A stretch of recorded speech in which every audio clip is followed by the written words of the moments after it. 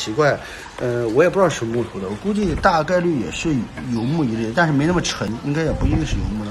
像这个是做椰浆的，就是拿那个前边这个工具，是用来这个打开之后呢，它它刮那个椰子。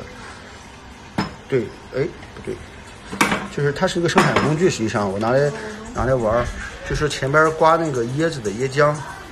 所以这是，这肯定就是用最最划算的木头嘛，应该是在东南亚的话，还是油木最划算啊。这个是香港的，香港过来的一个做那个饼的一个一个玩意儿啊。大概大概就是东南亚的木头就了解了是吧？